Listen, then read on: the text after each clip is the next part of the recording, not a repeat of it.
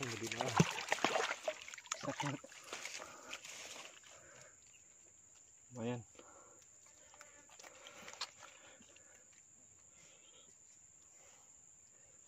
Lubangnya sempit dalam sobat.